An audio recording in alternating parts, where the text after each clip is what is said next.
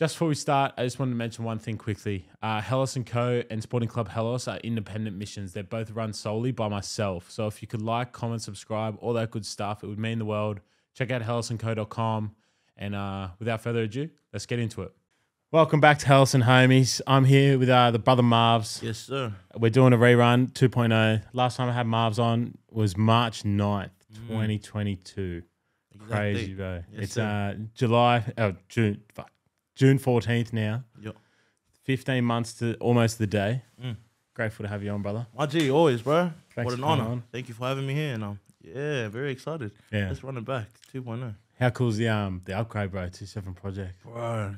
2.7, bro. Shout out to the team, mate. Like, they definitely got a lot of, I don't know, creativity going on around here, man. Like, such a great space. And um, I don't know, just props to them. Even just coming in here, um, I don't know, man. It's just it's just good for Western Sydney. You know, it's just good for um a lot of the creators, a lot of young fellas coming up, uh, needing a space of um just shooting or even podcasts or anything. You know what I mean? Um, these guys pretty much provide. So shout out to the Two Seven Project and everybody that's a part of it. Yeah, Yeah, it's, it's unreal, bro. Been here, like I'm here once a week doing the clean and whatever. Yeah, and yeah. Just kind of like helping out.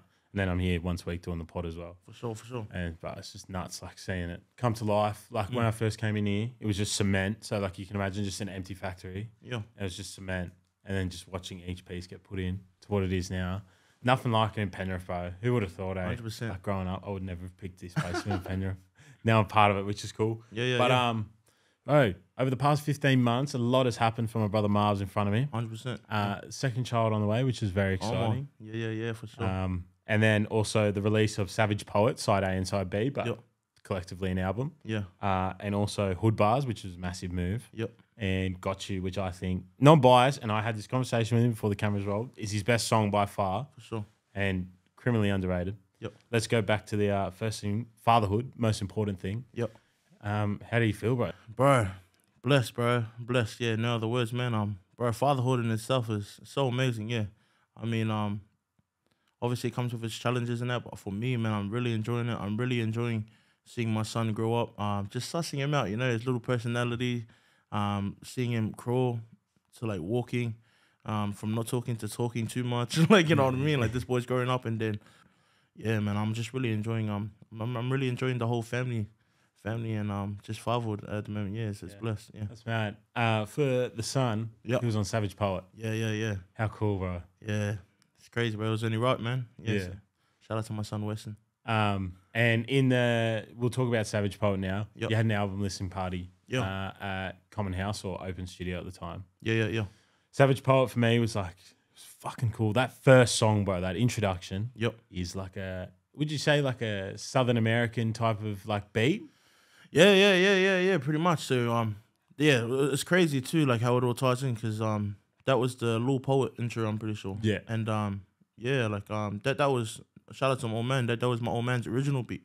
So that was like um produced by him, and I re- I recorded that um back when I was little too, and I I just I remember I almost remember everything that was going on.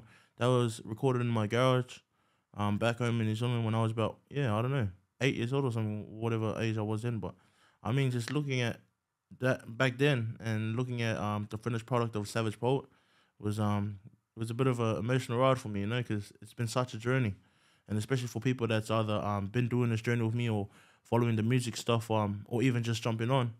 I'm sure that they, I'm glad, I, I'm hoping that they got a glimpse of what my journey's been like, you know. So um, yeah, but man, Savage, um, the Poet intro definitely, definitely, uh, yeah, definitely pulls some heartstrings sometimes every time I run it back. So So wait, just to clarify, yeah, your dad produced that beat yeah, two decades ago. yeah, for sure, yeah, Yes, like in the early 2000s, right? yeah, And then you've put that beat, and that's the intro to your debut album. yeah, Bro, nuts. yeah. So that's the What a intro. full circle moment. Yeah, so obviously like um Savage Poet, I'm I'm not sure if you already know, so Savage Poet is is the title, the name of my EP album, whatever you want to call it. But uh Savage Poet was my dad's rap group back then. And I'm sure you I'm uh, pretty sure you remember. yeah, uh, you I- I- mentioned I, spoke about that on the Yeah. night, yeah, of the um launch party.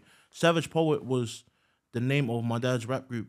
Shout out to all the uncles and the cousin that that was a part of it, and I was fortunate to be a part of that, and that's how I birthed my music career through there. I was Miles back then, little Miles, but like they called me Lil Poet back then, which was why that was Lil Poet intro.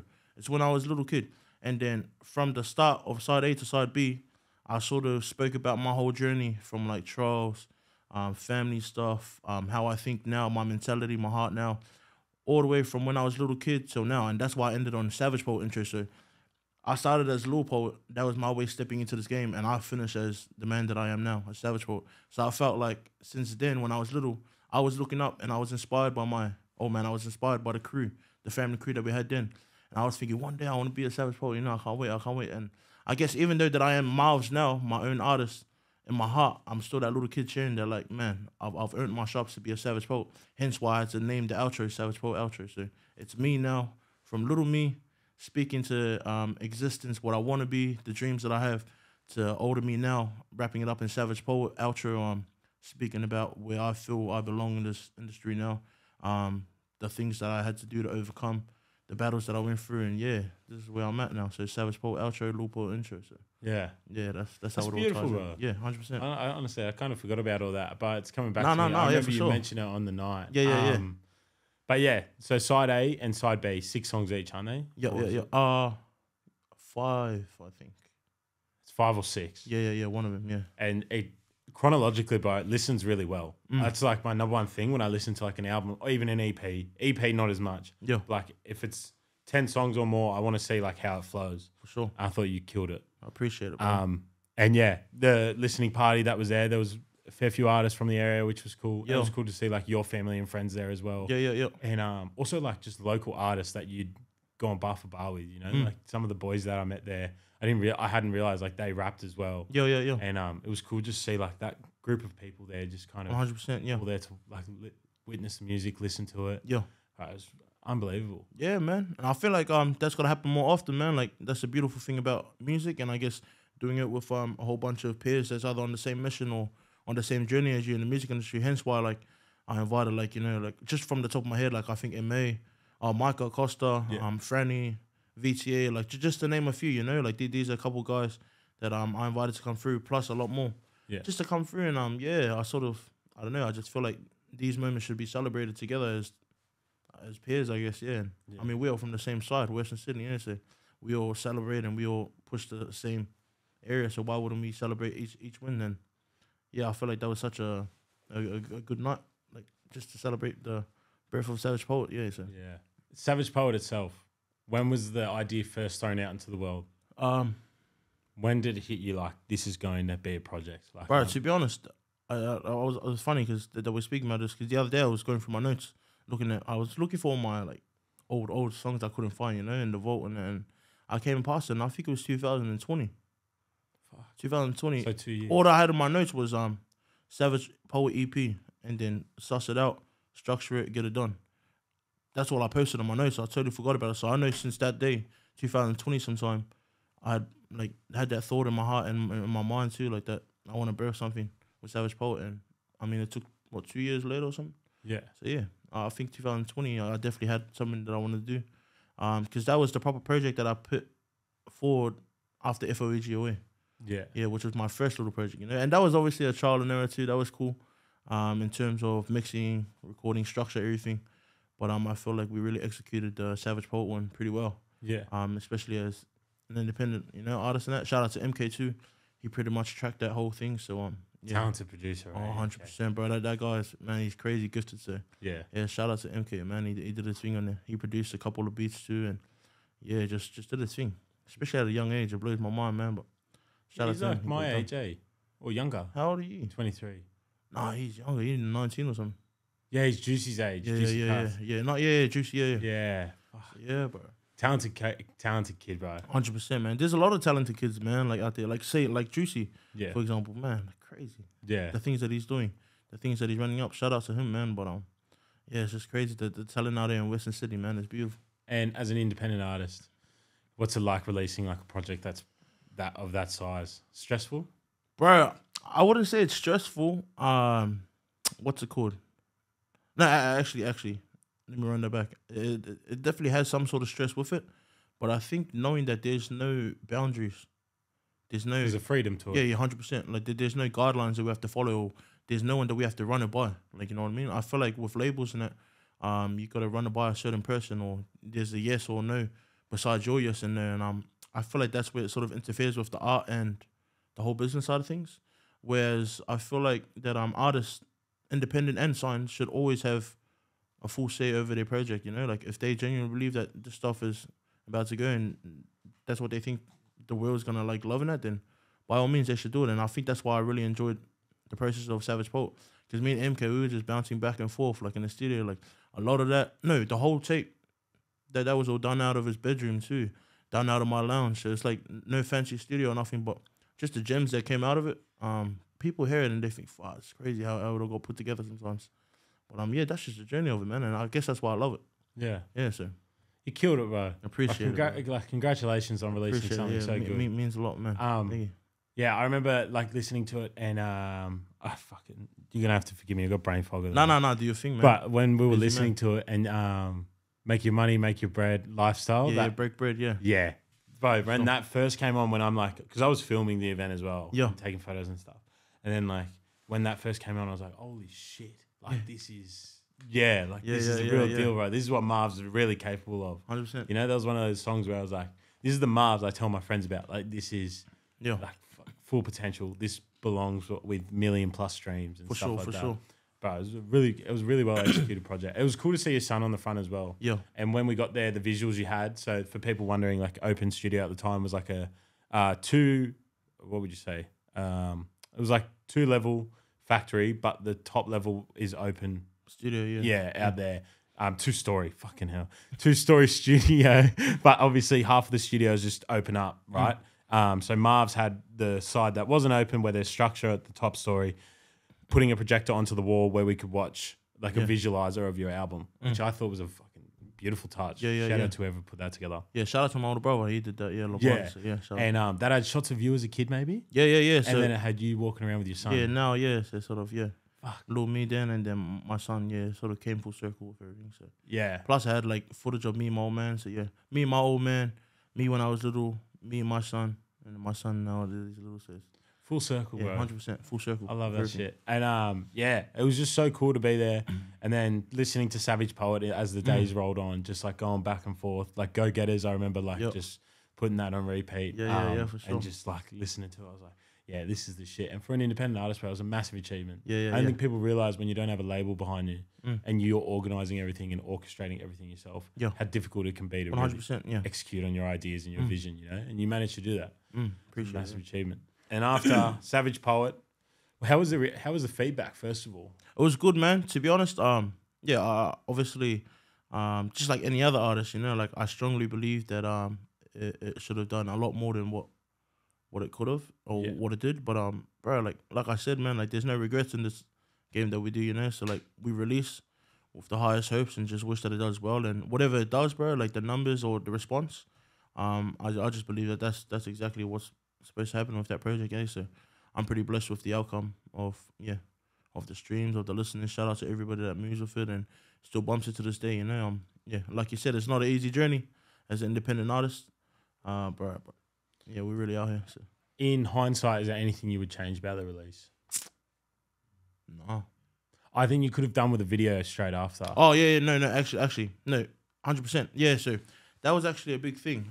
Um, because remember how you were just saying like there's a lot of stress, a lot of um, what's called challenges that come with releasing a project or even just a normal single release without a label. Yeah. And um, at that time, bro, like I think I was, what was I doing? I think I was, nah. To be honest, I think I was just scraping, bro. I was, I was, I was genuinely scraping coin, bro. Like I was like, fuck, like I really want to get this project out, and I like in my heart, I really wanted to push with visuals. I just don't have the funding for it at the moment. You know what I mean? And Yeah. this is real life stuff. Like I'm, I'm genuinely being serious. So that's the whole reason why I couldn't put out a video. in that. So a lot of people say like, oh, you should have, and like I know in my head that I, I should have. I know in my head I, I could have and I would have if I could. But um, yeah, just at that time, bro, yeah, you know, like finances just wasn't up at the moment. I'll be straight up, Yeah. and that's the beauty of it, you know, because um, yeah, I don't know. I guess a lot of people don't really speak on that stuff, or they just make some sort of excuse like, oh, no, no, no, you know, I was busy. or No, but like, yeah, for myself, I could genuinely say, bro, like, yeah, I just wasn't in the financial state right then and there, but um, yeah, no regrets still. You know what I mean? Like, yeah, you can't live. I felt like yeah, hundred percent. Because then I'll be beating myself up for the rest of my life, wishing that I did that. And, and yeah, I just think that life should be lived with no uh, coulda, shoulda, woulda. You know what I mean? Yeah. So yeah, And then after that, as if you couldn't make a better step, I think it was the best step you could have made. Yeah, Was you went on hood bars, hundred percent. Yeah, and I'll talk about my friend Marv's here. come on. First time we met was in Open 2021, Yeah. back end of 2021. Myself, Cameron, shout out Cameron, Yes, sir. Fez, who's probably best bar for bar I've ever Yep. seen live, like For sure. you, you as well, Mm. and um, and yeah, but like Fez, like he's a poet, not a rapper type of thing. You know what I mean? Yeah. Um, and then yourself, Yep. Red Honcho, AF, Yep. and we and Esky was there as well. Yeah, yeah, yeah. And that's when I like I was like, fuck, I want to be like Esky when I'm older, you know, like he, Sure. just the way he sat in on the sessions and he Yeah. was just like, Esky's one of the goats. But we were sitting there, and you guys would put on a beat, or Cameron would chuck on a beat, and Mm. the your ability to just go Mm. on a beat, Mm. and and then when you were showing your vault out as well, when because all the boys got their vault out while we were shooting some sh- uh, Yep. shirts and hoodies and stuff. The boys were putting out their own vault, and we made like a little video out of it. That was remarkable, bro. Like the way you could just go. Mm. Yeah. And then I'd always thought Marv's belongs on a freestyle platform. Yeah. That's where he'll get his most flowers. Hood Bars comes out. Yeah. I loved it. Yeah. hated or love it bar was sick. Maji. Yeah. And the way the music changed in the background as well, Yeah. like the instrumental. Or MK. Or MK. yeah, Shout, fucking shout out MK, man. Yeah, shout out That's some talent, man. Because sure. it, it seamlessly, like, it's, that would be so hard to do Hundred percent. Yeah. to make the beat change and then come back Yeah. back to the instrumental. Um, and then also Chubbs, shout out Chubbs, good friend of Yes, mine. sir, that yeah. Chubbs. I, s- like, I I was listening to it and I like laughed out loud. I was like, Yeah. fuck, I never thought Chubbs would get on a fucking hip hop Yeah, song. bro. It was a, g- it was mad shout out. Um, and yeah, how was that, bro? How does how what is it like doing hood bars? Nah, bro, it was good, man. It was very exciting. Um, what's it called? Yeah, even the way that I I got on there, it was, it was crazy. Um, I didn't I didn't approach him, and um, I don't think I was on the cards of of jumping on the hood bars, but um, I think from some of the previous guys that he had shot, I think he was sort of just um asking for reference, like who do you reckon should jump on hood bars, and um from from memory, I think a couple of the artists that went before me, they re- referred me. Yeah, so um, he sort of approached me, and I was pretty like. I was pretty excited. I thought, damn, this is solid. You know, I've never been on the hood bars before. Obviously, any sort of like platform where we could just spit like a solid sixteen or thirty-two, and um, yeah, but I was like, five years solid. Let's do it. So it was pretty cool. Um, I don't know. I, I just really enjoyed it. There. Yeah, the bro that, that runs it. Shout out to him. A lot of work, like I said, goes in with it. You know what I mean? So the work that he puts on behind the scenes, nobody sees it, bro. But just the setting up the lights, cruising by himself, setting up his cameras, doing all sort of takes. The editing, like, bro. Yeah, bro Editing. all that the editing and like even out in the rain like you don't know if it's gonna rain in that so props to him for um putting it all together not just for me but for all the other artists that went through hood bars and the ones to come you know so um but for myself bro it was, very fun yeah I, I feel like it's the same sort of thing like you just get a blank canvas it's sort of like yeah you got hood bars dropping in this state like go hard and it's sort of like bro you just rip in there you know you sort of um It would be hard for you, eh? Because you'd have so many things like from the vault and just on the top of your mind to pick from. Oh, for bro. sure. Yeah, yeah, yeah. but that's the thing. Like, even then, I was like, "Far, like, should I just like go back and um revisit one of the verses that I haven't used it or whatever?" But it's I don't know. I just felt like I had to come with something fresh. So hence, I hence why I had to rewrite the whole thing, and I just wrote a whole new verse in that, and I enjoyed the process of it too. Like I said, shout out to MK. I can't shout out to him enough, eh? But he produced that beat. Um, obviously took care of the masters and that, and even the way, like you said, the little effects yeah, with um the money stuff and the hate love it instrumental dropping in that. But that's ideas that um that we sort of fed off each other, you know, and thought this would be cool if we chuck it in and that. So we did that, and um yeah, I think it was just a fun fun process of getting that out. Yeah, so Hood Bars was pretty cool. Yeah, Yeah, that's mad. um, and then the next song that comes out is "Got You" yeah, yeah, yeah. yeah. with eh, All Black Albie. All Black Albie. Let's get it. Yeah, Bro, what a song! yeah, Like I, I listen to it right. So I listen to all the artists locally. Like I just listen to them on Friday morning. Whatever's news like is newly released, it'll Yeah, come yeah, up in um on Spotify release radar. Mm. So I listen to everyone's. Sometimes I'm like, fuck, we could be doing a lot better here, but maybe it's just not my style. yeah, Yours comes on, I'm like, fuck it. I got G'd up. I was like, fuck yeah, Marv's hopping on. And I thought the other guy would be like a heavy, I thought it'd be like a very much um like two heavy spitters going back and forth, you know? Right. Kind of like what Pistol Pete and Enzo do. yeah, yeah, yeah, And I got excited. And then it comes on, I'm going, holy shit, like this is unbelievable. yeah, yeah, yeah. How did that song come about, bro? Bro, so we had that one in the vault since like 2021 or something too, like a while ago, bro. So um, we've been in the talks um to be doing some tracks on that too. Shout out to All Black LB too and the whole Fly North team, but um, yeah, man, I, I just the first time I heard of LB, I was like, "Fuck, like this guy's something different," you know. And this guy's unheard of, and I feel like he he deserves a lot more recognition than what he's got now. So and still, bro. So we sort of just chopped it up, and then yeah, went back and forth. Took a bit of time, and then we realized that um when we hit each other up and we said, oh, we'd be keen to do a track together, like you know, like we just sort of clicked or we gelled, and we found some sort of sound, you know, that we were rocking with, and we could both fit in so perfectly. I feel, which was like the outcome for I got you and that. So um, yeah, it was I don't know, it was dope. The concept of it was dope. Um, the way he delivered to on there, it was just like, just perfect. You know what I mean? Like everything felt so perfect. Cause the thing with Albie, bro, like the way he spits is so raw, and so you can hear the accent, you know, sort of thing. Like you can hear the sort of like the G in him, you know what I mean? But it's not too overpowering with the track to the point where it's like this guy doesn't sit on the track. He sits more on a rapping song because he comes so smooth with it, like the way he delivers. Yeah. Um, even the lyrics and that, like yeah. So uh, I don't know. It's such a cool, I guess, process of making um got you. Yeah. So Yeah, I thought the way you delivered your bars as well. yeah, yeah, yeah. Sonically, it was like perfect. Yeah, yeah, yeah. So yeah, it, it, like like, and we discussed this before. You know, like um, I think the main thing was, it, it it wasn't to like. There's some songs, but you really gotta think and look back and think like, no, no, like I want to go hard out on all the bars. You know, come out on, with the best of the best. But that track, it was mainly just like, uh, no, no, let's let's let's really just dumb it down, but still still keep it a vibe. So yeah, uh, like I said, I just enjoyed the whole process of it. So Yeah. got you, yeah, out now on all platforms. On, yeah. yeah. But fucking, it deserves so much more than hundred percent. yeah. I suppose that's where a label might help one day, eh? Yeah, for sure. And like obviously there's like people that um do a lot of pitching stuff to like playlists and all that stuff.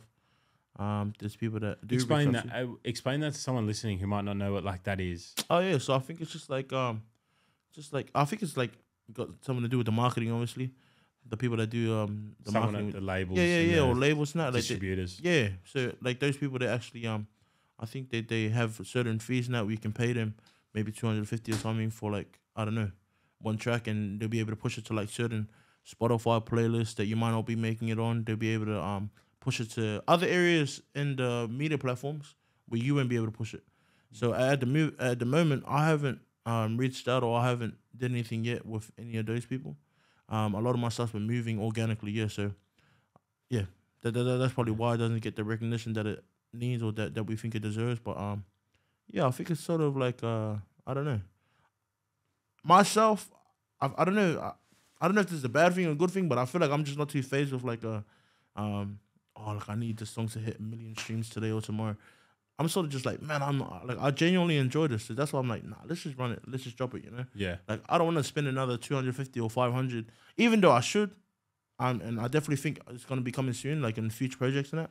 But just for the stuff that I've released before, like yeah, I sort of like I can see that I've did it um organically with one of my other songs and some of the other past few songs. So why can't I do it with the rest of the songs that I've been doing now? You know, Yeah. until the time's right, until the pocket's right, you know, the money's coming in. That obviously we're gonna make some moves then, but until then, bro, I think I just gotta be real and like whatever suits me best at this point in life. Then that's that's how I'm gonna run it. So Yeah. That's why you should support Flight Night on Spotify. yeah, yeah, yeah, yeah, that, for bro, sure, that, that's sure. where it's like, that's the playlist that hundred percent, yeah, You don't need to pay to get on. yeah, yeah, yeah, That's what matters. Like, hundred percent. yeah, those type of independent playlists that Spotify still supports, I think Mm. is like the way forward. Um, and YouTube's just like fucking hit and miss, eh? Yeah, yeah, Like if it yeah. hits the algorithm. Nah, yeah.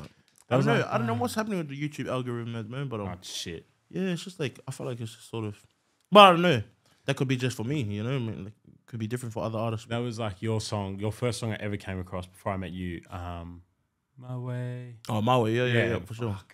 Yeah, That that just was on my YouTube page almost every day for like a month, bro. I was Yeah, like, yeah, holy yeah. shit. And then I clicked on it because I didn't think it was Australian yeah, at first. Like I just had never seen the name or anything. I wasn't involved in hip hop as much back then. yo, And then I just clicked on it. I was like, oh, he's at Blacktown fucking train station. all day. And then um yeah, I was that was on the YouTube algorithm. But now it's just like all these thumbnails and all that. Yeah, yeah, bullshit, So it's hard to push as an It artist. is, but- bro. Yeah, but I mean that's that, that's pretty cool in a way because it just shows that um there's a lot of people coming in. There's a lot of artists like getting birthed. Yeah, so organically and independent, doing their thing out of our own backyard. So that's pretty cool. So like, oh yeah, man, like Yeah. there's a I don't know, like you can see there's a competition. You know what I mean? To sort of you either get going or other people's just gonna pass you. You know what I mean? So yeah, Yeah.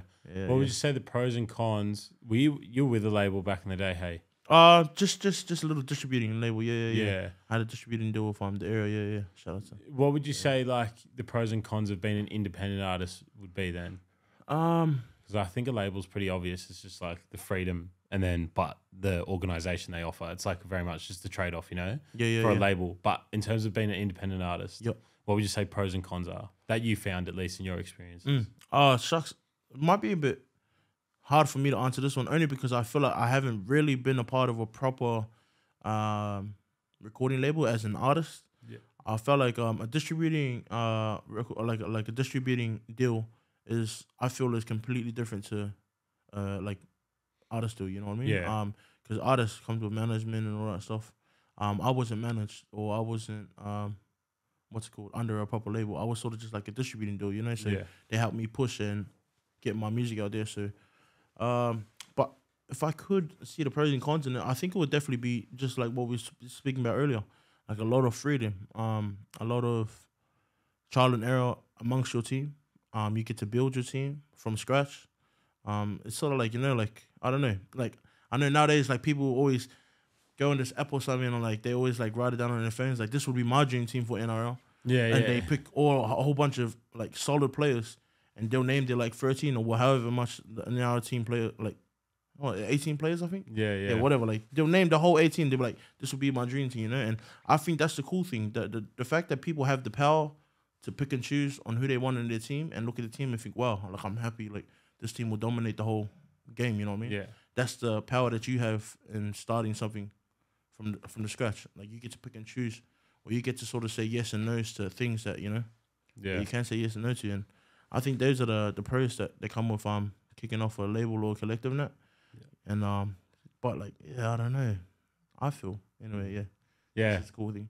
Like I said, bro, like this, this is nothing that um I've been in before. Like, you know, I'm still learning along the way, straight up, and I'm still learning today. You know, but um, that's the beauty of it too. Like learning the game, um, just I guess taking what you've learned in the past or on the journey and applying it to like your life now, and I guess with this whole yellow line thing, and um, yeah, just seeing where it goes. You know, I never want to look back and think far. Like I wonder what it could have been like if I just, yeah.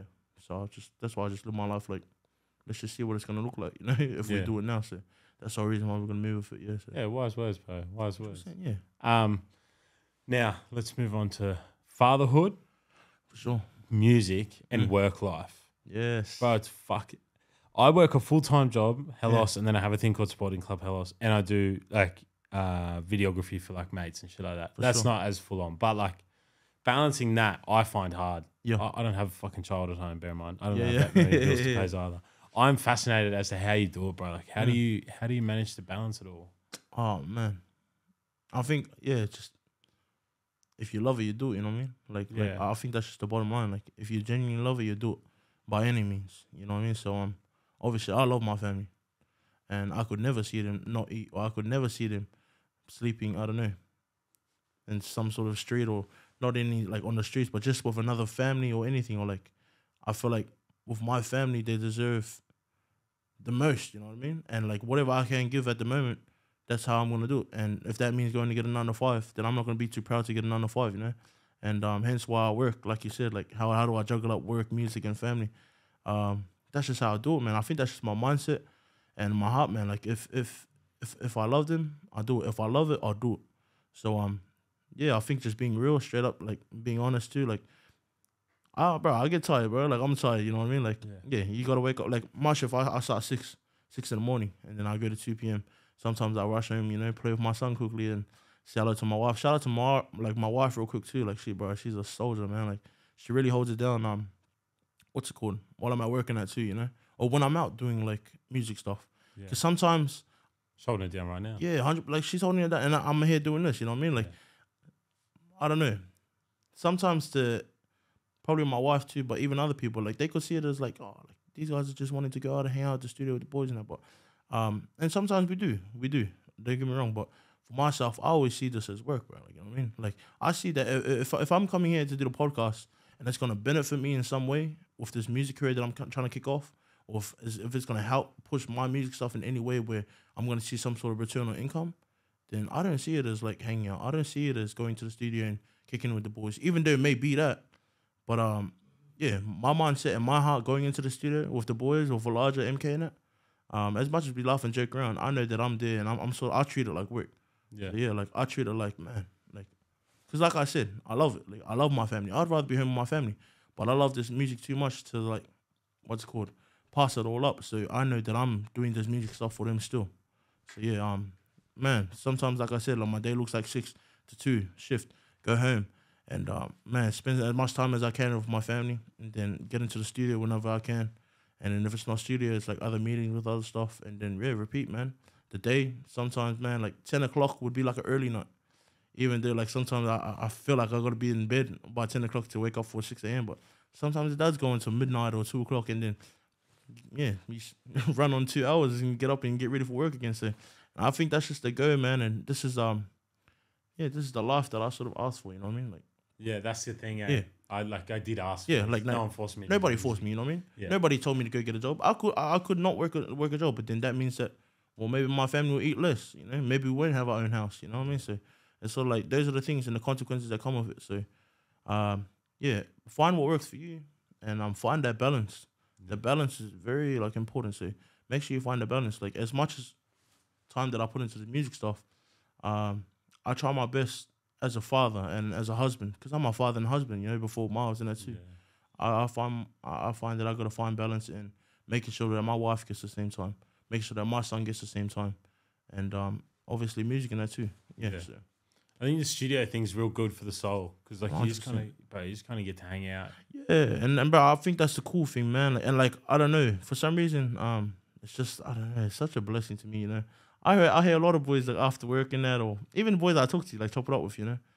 Their their way of leisure or hanging out is like, man, I just want to smoke up, or I can't wait to drink on a weekend, you know. Like, let's have a drink up with the boys. Like that's their way of um spending their weekend, or, Release. or yeah, yeah, you know, just feeling their free time with, you know, um, outside of family and work. But for me, I sort of um yeah, as much as I see this as work music stuff, um, this is my leisure, man. Like I genuinely find peace and alone time in studio and, and making music, delivering music to the world, and um, I find my sort of rest in that. Yeah, so when I do that, it's sort of like it's pretty cool. Yeah, So- Yeah, yeah, it's bro. It'd be it'd be so hard, eh? Like Yeah. just to fucking. I and on on top of all that, sorry, like, cause I'm not even sure if you mentioned too, but I am a youth leader too. So like, I do a lot of youth stuff and I take care of like the youth kids and that. So good stuff, bro. yeah, yeah, yeah. So that's that's like um throughout the week too. So yeah, that's just uh, man, that's it's all about the next generation for sure, man. Like everything. Yeah. yeah, like being a family man that's about raising up the next generation raising up the kids you know the things we do sacrifices we make even for my music i make music for the next generation you know like yeah yeah. My way is a big example. yeah 100% yeah yeah, even like yeah there's always hidden messages between a lot of these tracks it's not something we just write up and think oh this would be a cool track to release and then we release it nah there's definitely a message behind every track yeah so You say the youth is at the forefront of your music. um it's definitely an audience yeah Yeah, for myself, that's definitely an audience because it's like, yeah, like what what what what good is my music gonna do to like some old people, fifty year old, sixty year old people? Oh, like sorry, sorry. my dad did like Please, your music. yeah, yeah. Oh, showed no, no, dad, yeah, yeah. Props, but actually, yeah. Let me reword that. Props to everybody that do listen to my music, you know. But Yeah. I feel like with the time that we're in now and with the music that I'm delivering, I feel like I could have a lot more influence, a lot more impact in the youth that's actually listening to the music now. And they can grasp and take whatever they can from these songs that get delivered to them. And sort of like, I don't know whether it inspires them or whether it pushes them to head the right direction or sort of rethink the decisions that they're going to make before they make it. If that's what my track's going to do to these young people, then that's that's that's exactly the route, the path that I want to take with it, you know. So yeah, I think that's why I sort of head with the youth, like being the audience. Yeah, yeah. Nah, bro. Mm. It's good that you did that. I didn't know you did the youth leadership type of stuff. yeah, yeah, yeah, for sure. How'd you get yeah. into that? Like, why? Well, why? Oh, bro. So obviously, like, just like a lot of a lot of the Islander Pacific Islander brothers and sisters, you know, like I, I was fortunate to be a part of a youth group back then, and obviously attending church and that, and yeah, it's just always been on my heart since then. Um, I don't know, just seeing, just seeing when I was a kid, like 12, 13, 14, seeing that, um, looking back at it now as a, as a man, like you know, that other elders like 20, 20 years old plus had time out of their day could have been anywhere else partying or doing whatever, but had time out of their day to come invest and come speak and come show me the ways of like, you know, show me who God is and that, um, get a better understanding on life and that. Blows my mind, bro. It's like, far. Like, I can't believe that we got this treatment. It's almost like gold treatment, like, you know what I mean? Like, we're so lucky. And like, I feel like we take that stuff for granted. Like, man, like, what the heck? Like, they could have easily passed us up, you know? and we could have easily fell into streets or fell into any sort of way. But I'm so blessed that um yeah, there was people that went before us and showed us the way, and I think it's only right that we do the exact same thing and following that path. You know, of man, like if it's not for the next generation, if we don't build them up, man, then it's like. What are we doing it for? You know what I mean? Yeah, what are we doing it for? Because Yeah. one day, eventually, I'm gonna leave this earth. You're gonna leave this earth. You know, and whatever impact or whatever influence we have on the ne- next generation, that's how they're gonna run it up. Yeah. So if we speak nothing but death and we show nothing but negativity in, in our actions and the way we treat each other, how do you expect good fruit to come out of the, the next generation? They're obviously gonna follow follow suit. You know what I mean? So that's the whole reason why we gotta yeah be wise with the way that we um I don't know just invest into these kids, the way that we show these kids, the path that we show these kids. That's what I strongly believe, man. And yeah, for myself, like showing God to these kids is like nothing greater than doing that. You know? So Yeah. yeah, for sure, Back to the music, bro. I got a few things I want to ask you. for sure. What's next in terms of your steps? Are you thinking more single releases? Because I feel like it's cool for people to think. So you've come off a big EP Yep. and you've just gone into a Hood Bars, which is a massive move for an Australian rapper. Yep. Shout out Hood Bars. Yeah. Then you've gone into a single release. Yep. In terms of like just as a rapper right now, where's your brain at in terms of like where you want to go next? Oh, so I've definitely got the next three uh, three months rolled out. Yeah. So What are you um, thinking? oh, so Um, there's there's gonna be. A it's funny. It's funny that I'm asking this, but when, when's this gonna be dropping? Like soon or later? Two or weeks. Two weeks. It'll be uh, la- last week of June. So For sure. Nah, then we're gonna say yeah. So the, the the the next step is um obviously a tape yeah, um with, with some some great artists. Yeah, that's gonna be coming out full track tape, and um that's gonna be coming out in the next couple of weeks. From there, it's gonna be rolling out singles, what's it called? tape. Yeah, can you reveal or not? Yeah, let's. Nah, I'm gonna really yeah. So the tape's called Not for Everyone. Yeah, Yeah. man. So it's not for everyone tape, you know what I mean? And it, it, it's not it's not trying to be exclusive with the music that we make, but it's just genuinely putting out there, like you know, like the way that you see me and the artists that you see me. This might not be that artist, you know what I mean? Like you might not get the Mavs that you like the you way or are you best hopping on drill? Nah, bro, drill man, nah, bro, drill, bro. You gotta have a lifestyle for that. Nah, shout out to the bros, been there. Nah, nah, I could never, man. Like yeah, that just doesn't fit in my pocket. But nah, um, definitely exciting to do this. Um, tape, not for everyone tape. Um, shout out to the bro that we're doing it with, and um, yeah, that should be coming out, rolling out in the next couple of weeks, and just a whole bunch of singles rolling out till then, and Yeah. then um, yeah, hopefully see some stuff with the collective. Yeah, we'll see. What about an album? Is that playing in your head yet? Um, I feel like at the moment it's sort of just like just trying to be consistent and just um focusing on a lot of single drops and that, build some noise in that, and just see how we go with that, and then um yeah, Go from there. yeah, yeah, yeah. I think like the biggest downfall with artists in Sydney or Mm. Australia is like if they don't pop, like say, like say, take away like Lisi one four HP boys, like Yup. if they don't pop to those levels, a lot of them aren't consistent enough um in their release of music for sure. to like see the gains. Like Chillinit fucking was rapping to no one for years. Yeah, yeah, yeah. Before sure. he did that album stuff, you know, like Mm. there's artists out there that have now popped off Mm. because of consistency. Yeah. And that's why like number one thing I think like hip hop artists need to focus on. And just artists in general. Yeah, yeah, for in sure. like Australia. It's like a big downfall of our scene. It's Yeah, just yeah, that for sure. consistency. And Yeah. a lot of people get discouraged. Like for you, I don't think your best song is My Way, right? Mm, mm, I mm. say that with the biggest confidence. no, hundred percent. Yeah, It's a fucking anthem. yeah, yeah. But like you could have easily got discouraged when you make a song and you think this is better than My Way, but then it doesn't get uh, like what My Way would have. One hundred percent. Uh, yeah, Uh, I think a million million? streams. Yeah. Yeah. So you yeah. may release a song that gets hundred thousand, which is the tenth, and you go like, how does that even equate? And some artists just drop it. yeah, They yeah, just don't care. They just sure. won't do anything. But like for yourself, you're just going back and back. So it's Yeah. only a matter of time, eh? Ah, yeah, bro, and I, I think that's the difference, bro. Like exactly what you said, and you know how you're saying like um that like some artists do that and then they end up dropping when they don't see results. Then I think um they just got to really think like were they even an artist from the start? You know what I mean? Because it's like Yeah. that's the difference between artists and one hit wonders. You know what I mean? Like people actually try to do some songs to hopefully pop it off overnight or one year. But if you're in there for the longevity and you really are here like with the right heart, with the right intentions, and you move correct, then um you would never question what the streams are. You would never question your your your plays on and, and, and how the release is going. You know what I mean? Like the way that you put it out. Of course, it's gonna be some sort of like, "Fuck, I'm a bit bummed that did this didn't do numbers like this certain song and that. But um, at the end of the day, bro, like, what are you gonna do? You're gonna give it all up for that. You know what I mean? So yeah, and there's a lot of people like that's watching you. You know, like there's a lot of influence that you have without you even knowing. So I mean, you sort of throwing in the towel, going back to your normal nine to five. That's cool and all, but like, just know that there's people out there that's still questioning, like, where's that person that I used to listen to? You know? Yeah. So yeah. Yeah, it's big. Um, do you know Alex Jones? from Melbourne. Yeah, yeah, yeah, yeah, yeah. Alex Jones. I think so. Yeah, Matt, that is a number one example. yeah. Is like people still to this day go, where the fuck is Alex? One hundred Jones?" percent. Yeah, And he's like arguably bar for bar. yeah. If you came up, anyone in this country came up against him, you'd Yeah. little white fella who would have thought, but he just held his own and. But he hardly releases, so Yeah. no one just knows where he But is. But see what I mean? Like, and it's about the impact that he's left on the on the industry. You know what I mean? So even though he doesn't do it, he might not not ever do it again.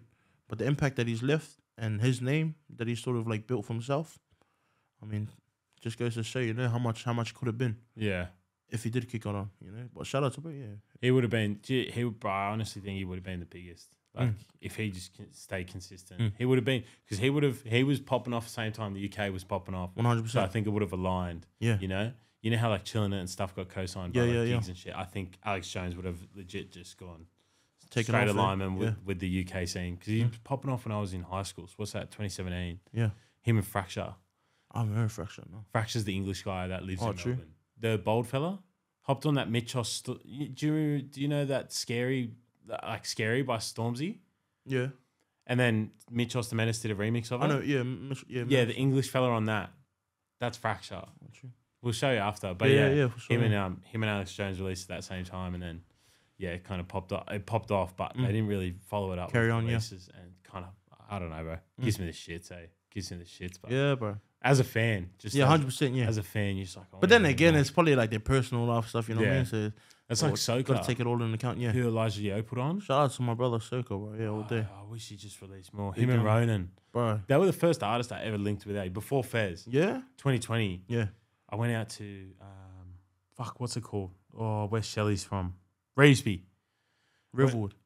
Yeah, yeah, Revesby and River- Yeah, like yeah, so. Ronan yeah. was mates with um, Shelley, and we are gonna link with Shelly that night. He Right. just released a song, but we went out to Revesby and we just got food, did a photo shoot, all that good stuff. Yeah. Um, and like, bro, we got along like a house on fire. Oh, yeah. And then Soka just never really kind of kicked off with music. Mm. like- same with Ronan. And Ronan's Playmaker did like 1.5, maybe 2 mil Yeah. on Spotify. Crazy. And round two with Elijah Yo was just massive on Yeah. like all platforms. Nah, bro. So- Soka's, bro. He's, he's got something special. That kid, bro. Like, yeah. And I, I remember the days when Elijah was bringing him through. You know, sort of showing him the ropes and that. And bro, this guy, like, I knew from the start, like, bro, you can see the grittiness in him. You know what I mean? Yeah. This guy not not, not shy to voice his opinion through his music and that. And I think that's one thing that I've always respected about Soko. But um, yeah, bro. Shout out to the bro for doing his thing. And yeah, man. Hey, make sure you release some tracks, man. Like, yeah. this guy's got too many gems in the vault. Yeah, so shout out to the bro. Shit he was showing me that night. That was three years ago now, bro. Yeah. Crazy times, eh? Three years ago. Almost to the day, eh? Mm. I think it was August 2020. I Three mean, years ago. Yeah. Bro, I should see it now. It's crazy. Yeah. Um, tic, you know the TikTok samples in rap? Yeah. Do you rate them? Wait. You know, like those samples where like they get a tick beat off TikTok and then they kind of rap to it. Have you seen that? Bro, to be honest, I'm not really big on TikTok, eh? So I'm really tapped into TikTok, yeah. Right. Um, but but but expand, yeah, expand. Yeah. So expand. there's like there's like songs that pop off on TikTok, right? Mm. So there's a song called "Jealous" by Eyedress. right, and that's like a band song popped Okay. off on TikTok. Then they'll use that as a sample and they'll rap on it as a sample. right, And it's kind of like all these songs used from TikTok samples right. and rappers hop on them and they and it's like a trend type of thing to do. Yeah, right? yeah, yeah. What do you think like as a rapper, traditional rapper that goes bar for bar, what do you think of all that type of stuff?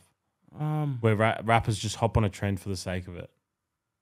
Bro, like I said, man, like whatever you're gonna do to push your name, push your brand, and if that's gonna help in any way, then um, by all means, like do it, bro. You know what I mean? Yeah, but I feel like there's just certain people that um that move different. For myself, I'm not too, and it's weird that I say this because obviously I'm on a podcast, I shoot music videos, but I'm a, I'm a, I'm a bit shy behind the camera. So like when it comes to TikTok moves and it, and the first thing I hear when I hear TikTok is like. You gotta do some sort of silly dance, you know what I mean, or something like. And like, yeah, yeah, yeah, it's weird. It's weird because like that's how I first remember TikTok.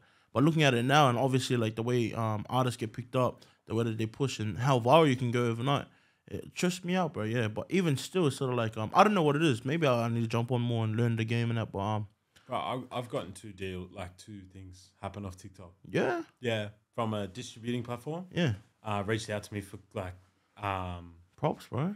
Thanks, bro, thanks. That's what I'm talking about. Yeah. G, yes, sir. Um, yeah, distributing platform reached out. I can't reveal the name of them, but like, yeah, they reached out and just wanted to call me. So this guy from this distribution platform just called me. He's like, "Hey, I need your advice. We're Yeah. not on top of rap at the moment. Uh. Um, we've seen your content. We needed like so yeah, like your name was mentioned, and then like I just went through, bro. I just went through a list of artists. I Yeah, said, yeah. if you need them, get in contact with them. I'm I'm not a manager. I have no management skills. Yeah. Um, but here's who I think like if you want to put an artist on your platform properly, sure.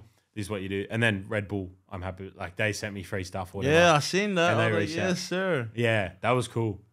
Um, but I definitely want to leverage that connection in the future because I do Yeah, yeah, want to yeah. do freestyle type of stuff. For sure. But um, take flight kind of Hayden Wings. Yeah, he kind of Shout out to Take Flight, bro. He's doing things, yeah. fucking go, Doing bits, bro. Yeah. fucking go. Put on the sh- He kind of did what I wanted to do, which is kind of just give a beat to someone, let them go. So once I saw what he was doing, which is like, he, and he does it so much better than I reckon I could have.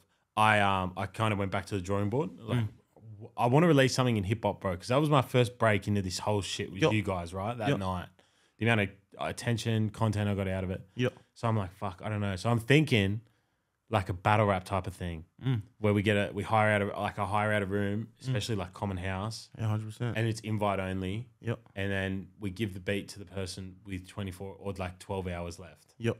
or six hours left, Yep. and then before and people people in the crowd know what beat to expect, Yep.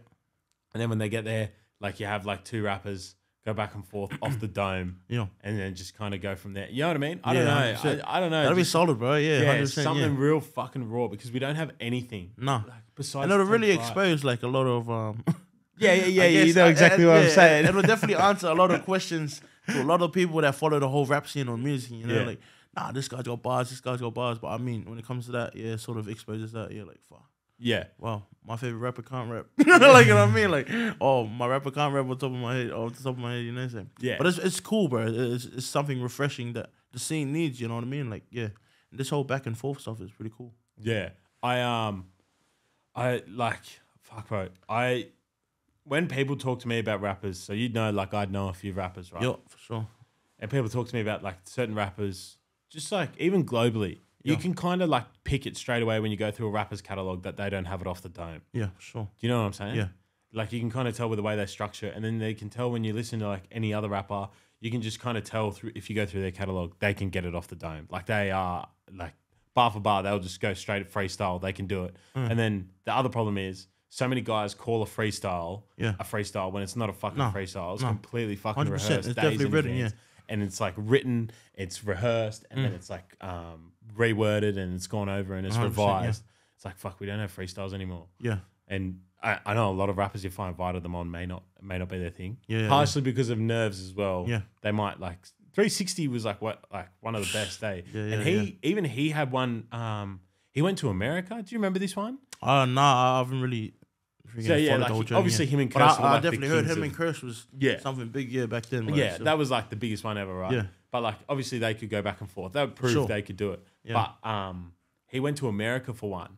Oh, and, true. and he couldn't get his words out. Fucked it up, the Yeah. whole thing. Yeah. So there's obviously that element of like people think, oh, they can't rap when in reality they're just nervous as shit. For sure. The beat's not suiting what's in their head. Mm. But I do want to do like three beats, Yep. three trade offs, two minute max, maybe. I don't know how I'm going to do it. Um, I want to do something like that where we get sponsors in, For sure. make it a real event, get food trucks. Yes, sir. Food trucks. Yes, sir. Yeah. Yeah. I'll be there for the food trucks. So one day, turn up for the rap show, stay at the food truck. you know what I mean? Yes, sir. Uh, Spit some bars at the food truck. Oh, day.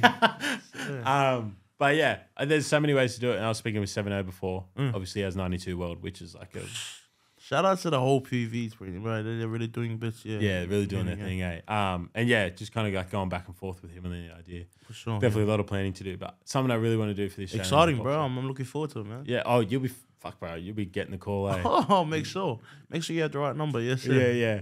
Um, I, I reckon I'd chuck you one of those like good old American beats, Oh, bro. Like, yeah, shook- boom like bap like all day. or Yeah. maybe like one of those shook ones. you Oh, know, yeah, yeah, from yes, Mobb Deep. sir. Mobb what you Deep, could do. yes, sir. Or like a big L beat. Come I on, reckon bro. you'd kill it on a big L beat. Legends, bro. Like, Yeah. It's- I reckon um I reckon Sally would be Sally goes hard, bro. Yeah. that's definitely yeah. he um he sounds like Big L so much. Eh? I don't know if you hear it, but fuck, yeah, yeah. Nah, yeah, you could definitely hear the influence in, Yeah. in, in the way he raps and that. Yeah, It's like Lex. especially some some of those older older stuff. You could definitely he- hear the heavy influence. Yeah. What's your influence? Would you say? Uh, with the way that I've been doing music. Yeah, Or overall. yeah, Um, bro, like music. I don't know. He- heaps here. Like It's obviously, definitely American. Hey, yeah, it's definitely? American influence. Yeah, hundred percent. Yeah, I, I think about it. Yeah, everything like West and East. You know what I mean? Like yeah, I do like Biggie now. Obviously, grew up on Dre and everything too. Game. Biggie or Tupac? I like Biggie, bro. To be Yeah, honest, yeah. same. Um, yeah. I just, yeah. Everybody for themselves, man. But for myself, yeah, I listen to more Biggie than Pac. Yeah, so Yeah. Yeah. Um, but yeah, who would you say like what what is your main influence? Would you say it's like West Coast movement? Because your music, I can tell, is like the American, there's Yeah, an yeah, yeah. Like oh taste to it. yeah, hundred percent. I think I've definitely been influenced by um the American American hip hop, you know. And it's weird because I've got people cross paths with me like in the last recent months or something, and they say like, bro, like, would you ever try rapping in your accent? And I just laugh a bit, you know. It's like, what do you mean? Like, you know, I, I think in my in my head like, what does this guy mean? I said, oh, uh, I do rap. Like, nah, nah, but if you rap in a proper Australian accent, and that's where they get it wrong. You know what I mean? Because I'm not from Australia. Like, I was born and raised in New Zealand, and then I moved here when I was a kid, obviously. But since I moved here, like which was like nine or ten years old, in that nine and ten years that I wasn't here, I was listening to like Game, Nas, Fifty, Biggie. Like I was listening to a lot of that stuff, you know. And so by then, when I loved music and I came over here, I was really heavy influenced by them. So I sort of followed suit, yeah. And um, I think I've just been influenced by them the most, yeah. So Yeah. when people question my music and then they said, "Bro, I didn't even know this guy was Australian. Sounds American." Or is this guy trying to put it on? You know, it's, it's not me putting it on. Yeah. It's just like, yeah, I've just been born into listening with them. Yeah, Yeah. I feel like if I try to rap like Australians, I'll be putting it on. Like, then what? you know what I mean? I get stuck in this ball where you thought I rapped Australian, I've tried it, and now what? You know, you Yeah. ruined my career. you know what I mean? So it's sort of like, yeah, that's the whole Um, reason why I do what I do. Yeah, I feel like New Zealand uh, is definitely influenced Influenced, Yeah, for sure. by West Coast. Yeah, for sure. East East as well, but Yeah. West Coast sound. Um, Yeah, 100%. even even Scribe. Yeah. Like, he was. I could tell Savage as well. yeah, yeah, back in the savage, poetic, mellow. Like you know, like a lot of boys from back there. Yeah. Uh, and I believe Boo-Yaa Tribe was actually American, weren't Yep, they? yep, yep. They were West, I'm pretty sure. they were West Coast, but maybe they were Polynesian. I'm not sure if they were. Someone. yes. Yeah, yeah, yeah. Yeah, and they obviously had a massive influence. Yeah, yeah. It's the age old thing of Yeah. oh, they look like like they are my nationality, yeah. you know, and they were like the first. But yeah, I remember actually off what we were talking about. Mm. Our first podcast, we talked about Scribe, Yeah. And I, like a fucking idiot, Yeah. said Scribe was like the OG of like um Aotearoa music, yeah, you know. yeah, brother, yeah. And um, bro, like all, all the brothers from Aotearoa and from you know even in Aussie that are from New Zealand, they were like, "Oi, nah, Nah, yeah. so wrong, bro. Boo-Yaa Tribe," and they just gave me all these names. Yeah, yeah, yeah. Nah, it's good, bro, because that, that, that, that's that. Like you learn, you learn a lot Yeah. more. You know what I mean? So that's yeah, that's, yeah. I, I, and then I um I can't I can't remember this guy's name. I was talking to some guy at like an event, and he was from New Zealand. Mm. Um, he was a Kiwi, and he was just going like, "Oh yeah, like this is all the influence," and he kind of just was like going like, "Oh yeah, Scribe," and he gave me like exact names. He's like, "Scribe sounds like this guy," and he's like, "What you got to realize when we're growing up, it's American." Right. He's like, "You could." You get any brother from New Zealand right now, Right. even a girl, and they'll tell you one of their favorite songs of all time. So most probably like an Usher or a Nelly Yeah. song. You know, like he's like, that's just what like was our thing. Yeah, yeah, yeah. And then you can kind of see it coming out in For artists sure. from New Zealand sure. as well. Um, but yeah, would you ever do like a song with Savage or Scribe, like the Bro, OG Kings of New I'd Zealand? love to, bro. I used to listen to them when I was a kid. You know, like when I was a little New Zealand kid, bro. When I used to live there, like, bro, I was South bumping them. Auckland, hey? Yeah, South Auckland. Sky popped off. You know, like Savage, like Deceptikonz. I don't know if you know Deceptikonz. That was his crew of like Rings a bell. Mareko on that. Yeah, so bro, like these guys were they were influenced, like you know, like the same way that like maybe one four and Hefs and that like lead the generation now over here. Yeah. It's the same way they used to lead like the New Zealand kids back home. Yeah, Yeah. used to look up to them too, like bro, decons and that. Would Scribe be like, or like Savage or Deceptikonz? Would they Yeah. be like?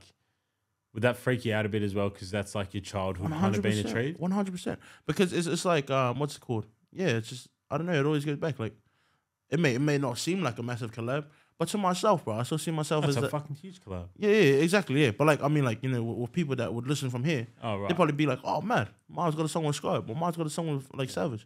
But that's what they see it as. To when if if I was to get a song with like, say someone else, I don't know, someone that's popping off here, say like one four or something, they'd be like, "Bro, what?" Like is-" you know, they treat it a lot more different. Yeah. But um, yeah, just just what what Savage and the New Zealand rap rap scene meant back then, like Deceptikonz and that, meant a lot more to me than what it would mean to other people. Yeah, so. Yeah, I'd love to see Scribe back rapping. eh? I listen. I listen to Dreaming almost every day. yeah, One of the best. Like, he's crazy, bro. bro, what's your biggest cosign? Have you copped a big cosign yet? No, Do you know what cosign is? no, It's like when like someone like puts you on publicly or like shouts you out. Yep. So mine would be uh, Ty two of us, I wore a Helos hat in a video. All right. Have you had like anyone shout out your music or like be listening to your music and they message you type of thing? Like anyone super famous? Super famous? No, not really, bro. Like I haven't really. No, it depends. Like, what do you mean by super famous? You like, like you would talk about even Australian influence in it? Yeah, or just like even super famous to you or super famous to the area type of thing or Sydney. Obviously, you know one four and one not, but like, Yeah. is there anyone like out there that you were like kind of shocked by that kind of message you about your music or follows you or anything like that? Oh, what- a crazy question! 'cause off the top of my head, like I'm sure there's been a lot of moments like that, but um, yeah, something's just not coming into mind at the moment. I definitely had moments like that though. I've definitely had moments. Yeah, Yeah. Like one of my moments, bro. Like it doesn't matter the level, but like one of my moments was um Soka Right. because that was the first artist to ever respond to like a DM of mine. right. And then another one was being in the studio with yourself, Fez, Mm. Red Honcho, AF. That was like a co-sign to me because it was like these guys put on Helos Yeah. merch, and then they we made videos and stuff like that. Yeah, for sure. Um, and then like co-signs, obviously, as you start to develop as your own character and business, yeah. like they can obviously get bigger. Like 100%, Tai Tuivasa yeah. at the moment, obviously, is Australia's biggest sporting export. Like him wearing my stuff, obviously, it's a bit of a cheat code that I'm here, but Yeah. like, yeah, that is like a massive. Um, oh, still, bro. Yeah, yeah, exactly. Yeah. but yeah, I was wondering if you'd had any because I thought fucking there's got to be someone over in New Zealand that's probably shouted you out or something like that. Bro, there's definitely I don't know. We don't pay attention to it much. No, I, like to be honest, uh, like I'm I'm trying to think of it. So if I'm trying to think this much about it, then I don't think it's either happened, it hasn't happened yet, or or maybe it happened and I sort of just can't think of it just on my head. But small things like say like uh, what's it called? Like um, say like shout out to my record. Like I'm not sure if a lot of people would know my record, you know, but my record was like OG. Like he was a, a part of the crew was Savage, Deceptikonz and that. So he was like, bro, like he was solid like bar for bar too. Like Yeah. when it comes to freestyles and that. Like, bro, you should go search his stuff out. Like, yeah, different, different um caliber, bro. Like this guy. And he said, like he listens to your music. Yeah, well, just because obviously, like my old man used to do music in that back then too. So Yeah. I like like you said, I don't know if that's a cheat code too. You know what I mean? But just the fact that I used to listen to his stuff as a kid at school and that on the Walkman and that too, and then like um seeing that he just shows love Yeah. is like, yeah, it's, it's crazy. You know what I mean? It's still like, yeah, it's Yeah. like it's still a wow moment for me. Like, far. Yeah. like yeah, I, I still get a little, I don't know, a bit of like, a, fuck, that's mad. Like you know, like this is the bro I used to listen to as a kid, and now he's listening to my stuff, or like he gives props, like just sharing my video. Or, I don't know what it is. Like any small things like that, like it may um seem so small, but yeah, it's, it's pretty big. Yeah, I, I'd never take this It's stuff. for big, granted, it's big to you, bro. That's the same for me. There's Yeah. things that are big to me that no one could Yeah, yeah. understand or give and it may seem so, so so minimal to other people, but yeah, nah, it's, it's definitely Yeah, it puts a smile on your face when 100%, fucking yeah. in the studio at like 2 a.m. I'm in my bedroom editing videos at 12 a.m. and something pops up. I'm like, oh, fuck, that's why I do it. for, you One hundred percent, one hundred percent. Like, um, remind you like why you're on the Yeah, on bro. the journey. Yeah, yeah, exactly. Because, bro, you used to dream of that stuff as a kid, you know what I mean? Like, I used to listen to Miracle back then. I used to be far. Be solid to meet this guy. Yeah, And to look down like 20 years later, this guy's commenting saying, bro, solid stuff. Also, like, you know, sharing my stuff. It's like, don't ever take that stuff for granted, you know what I mean? It doesn't matter how long it takes. Like, the moment's there, it happened. Like, bro, yeah, actually give props to the people that, you know, you used to look up to and that. So yeah. when they show love, yeah, make sure you show love I got a back. question for you. We mentioned it before. Yo, You moved here at age 10. yeah, something like, yeah, 19, yeah. Yeah, right. What's it like at that age just moving to another country and completely to a new culture and just starting from there? Um, it was different, bro. Yeah, it Was was, it different. hard? Yeah, because I'm I'm not gonna lie, like um, that was my first time ever leaving New Zealand. Yeah, so like when I left New Zealand, it was sort of like uh, as a little kid, like you don't think nothing of it, but like it's just like you know for sure that you're jumping on a plane going to Australia and you're leaving everything behind. You know what I mean? And as a little kid, it's sort of like it's nothing important, but it's like fuck, like I'm never gonna see my friends again, never gonna see my school, like. Except you did. Yeah, yeah. Well, it's crazy. Yeah, Yeah, it's crazy. I came full circle. It's crack up. You know what I mean? But um, yeah, bro. Nah, What we're talking about, Malay. yeah, yeah, yeah. uh, went to RJ. primary school. Yeah, in shout out to South Bryce. Auckland. Yeah, it's crazy. So when we seen each Nice. other here, I was like, what the heck? But like exactly like how you're saying, like you know, how you said like like we leave New Zealand come here and then come into a whole new life. It's funny that you say that, bro, because it's like I left New Zealand to come back to New Zealand. Like when I like when I came to Melanie, I was like, fuck, like this is the same, if not worse, than where I came from. You know what I mean? And it's funny because, bro, like the, the way that people used to paint Australia back then was like I don't know, I Like almost- outback and kangaroos and stuff. yeah, Yeah, like, yeah, yeah. bruh, Like like- Steve Irwin's. yeah, I can't wait to see like clean streets and Hollywood sort of thing, you know. and then yeah, oh, like the opera house and stuff. yeah, oh yeah, like like just yeah. or just even clean streets in general. Like I used to think, wow, Australia is such this. yeah. Wow, like I can't wait to go there to see what the streets are like. And I come here and the streets is exactly like where I came from. So it's like, wow, yeah. wasn't too bad, you know, man. I was like, oh, I came from home to home, you know what I mean? So I felt like we, we fit pretty well, yeah. And then I was like, okay, like this is a bit weird. So maybe I'm gonna see a lot of new people, Australians, and I went to school and I didn't realize there was so many islanders here still. And I was thinking, this is crazy. Like I think we'll be alright, yeah. Yeah. Then obviously, like seeing the bros, RJ and that, I was like, wow, what like, Yeah. sort of clicked, yeah. So seen, what- seen a couple more boys. Why like why did the family want to come over? Was it just employment opportunities type of thing? Oh, bro, it was, it was changed, man. Definitely changed. Yeah, like um, obviously, mom and dad, like they they they, they had to change some things, make some Yeah. sacrifices to, uh, be better for themselves, Yeah. for for us too, because we were very young. Yeah, I was eight, nine years old, so my older brother was eleven. Yeah, and like you know, obviously, they had to make that decision then. Like if we either stayed there, like um, I don't know, Yeah. don't know where we would have been, don't know where this music stuff could have been. Yeah, I always remind myself my nonno and nonno had to make a sacrifice from Italy after yeah, yeah. World, after World War Two, you know? yeah, They exactly. had to make that sacrifice to get like fuck. Like Yeah, but and like I think yeah, like they, they they had to make that decision so that we could live the life that we live now. Yeah, so yeah. I can't put it yeah There's more kids up in the mountains where I feel like slapping them over the fucking back of the head. Like you'd know the mountains. You've been up there. Yeah, There's sure, no, yeah. nothing, no trouble. There Yeah, should never be any trouble up there. They walk around A and bunch of gang up there. Yeah. gang. They couldn't fucking punch a cat, bro. They're doing nothing. but like some of them um, come from ethnic backgrounds like myself. Yeah, yeah, I yeah. just feel like like you just want to scream at them like, fuck, you have no idea how much sacrifice went into getting into this country. Yeah. Like you are literally in the greatest country on earth. Yeah. You don't get another shot like this. I feel like a lot of young people forget it as well. eh? Hundred percent, man. If I was in youth work, it'd be something I emphasize as well. It's Yeah, like, yeah, yeah, I don't think you guys realize yeah, where we come from, from for sure. e- everywhere, from anyone from Europe, from Africa, from North. America, South America. Yeah. Like this is this is it, and so many kids just throw it away For sure, bro. or for all that. And it's bullshit. crazy, man. For like, yeah, I don't know, but yeah.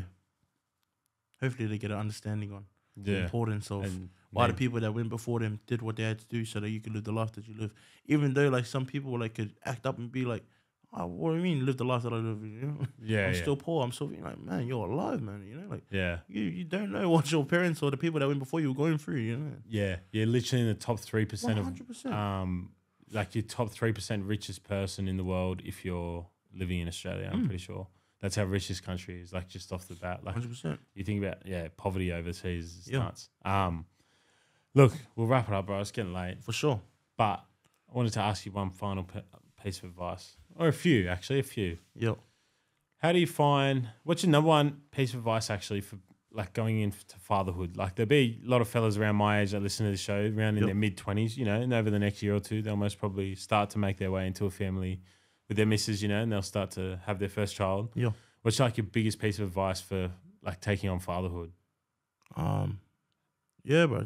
Just you can do it, man. Like, yeah, that's that'll be my main encouragement, man. Is like you can do it. So every single doubt that you have in your mind, like get rid of that, man. Like you know, like people that's stepping into fatherhood or that that stepped into fatherhood or that's looking at, you know, obviously moving with it. Um, you can do it. Like you can overcome it. Um, obviously, like be be the man, and be the best role model that you can be. Not only to your kids, like, but to your partner too, your better half. Like, learn, man. Like, learn everything along the way and don't be afraid to like a lot of fathers um they doubt that and they step away or they run away from it or they turn into anger they turn to anger because they know for themselves that they're dealing with something that's personal and whether that's doubt like ah, like i need to hang out with the boys more nah, nah like i can't do this like i'm still too young um your baby's there it's your baby you know like really run it up bro and um that baby's life in 10 20 years time like I don't know. It's, it's, I just feel like it's very important for that baby to look back and know that, wow, my dad gave me the best. Like my yeah, dad gave, me it my all, all. you know. Yeah, Despite despite how young you are, whether you're 15, 16, 17, or just a man now, you know, like if you're gonna have a kid, really run it up, man, and like yeah, make sure you be the man of your house. Um, lead by example, live it. Don't don't speak it, live it. Um, yeah, and just just just be the head of of the home, bro. Yeah. Were you nervous when, like, obviously you're filled with excitement and love Sure. when your first child comes along, um, your baby boy, but like, was there an element of like nervousness of like, I have no idea what? Yeah, one hundred percent, Yeah. bro. Like hundred percent. Like so for myself, all I've known is like, um, like when I go to work and that, like I've only known that far. Yeah, when I make money, like you know, obviously pay board and whatever, and then bro, I get to splurge the money on myself. You know, and Yeah. that's all I've ever known for like my whole life since I've started working. since 18, 19, whatever. So when I had a kid, it's sort of like this all changes. Like you know what I mean? Like it's not about me no more. It's about my family. Yeah. And like my sacrifices, um, and the things that I want, I I I, I can't.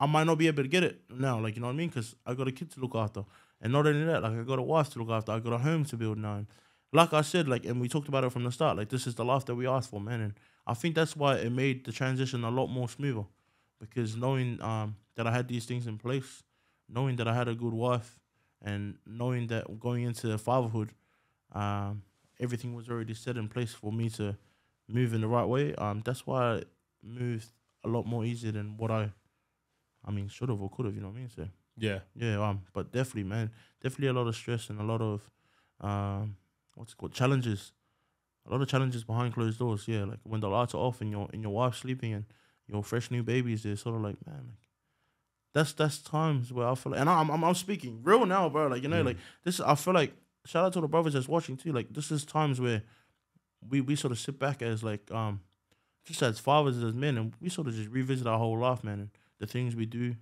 the and why we do what we do, um, the sacrifices, and bro, I think just reminding yourself that it doesn't matter if people don't see it, bro. Like, but the things that you do and why you do what you do for your family, that's all that matters, man. And just keep it pushing. Yeah. And I think always keeping God in the center of my life, bro, definitely like keeps keeps me grounded and everything. Yeah, Yeah. and hence why um yeah I live this blessed life, man. I may not have it or I may not freaking own a home. I may not have the best, you know. Yeah. But bro, this is this is this is a lot more than what I Yeah. I believe could have had, you know. So yeah, Wise words, brother. Definitely wise blessed, words. Yeah, definitely blessed. Um, second of all, creativity wise, and I feel like a lot of young men Yep, they need a creative outlet, for sure. and a lot don't have it, and they put other things in front of it, like I don't know, like gambling, Yeah, drinking, Yeah. that type of shit. Mm.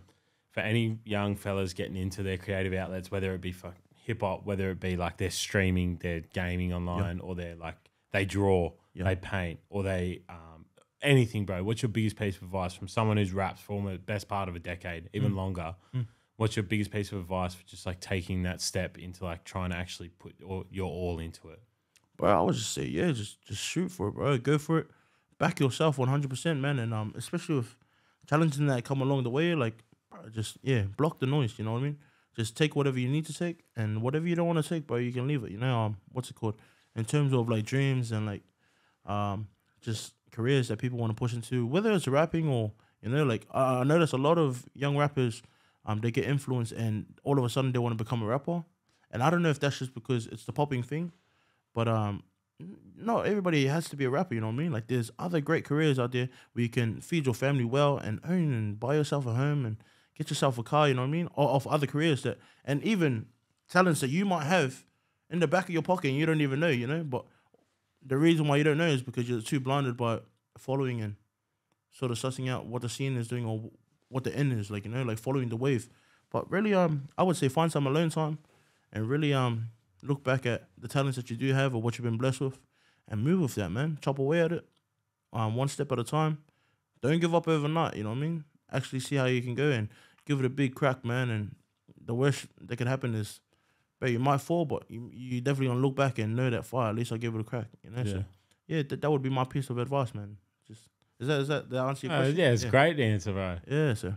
I just wanted to let you talk. Yeah, yeah, for sure. Yeah, you've that, done well, bro. that would be my Um, advice. Yeah, We'll wrap it up now. for sure. Where can people find you? Um, all over social media platforms, man. Follow my Instagram, mrvz.yl. And um, yeah, Marv's MRVZ on Apple Music, Spotify, YouTube, all that. And um, yeah, stay tuned. Um, a lot of work coming in, and yeah, a lot of features. Most underrated in the country, Exciting. man. You haven't Bless, listened, you bless, should bless. already. A ridiculously talented artist. My so God, my God. time is due. Yeah, yeah, all day, man. But we keep it going, bro. Yeah. We keep pushing. Yeah, I'm keen for the EP. It'll be sick. Oh, 100%, bro. I'm keen for you to hear it. Yes, Yeah. sir. Let's Thanks for hopping on, bro. I appreciate it. See you next week. Bless.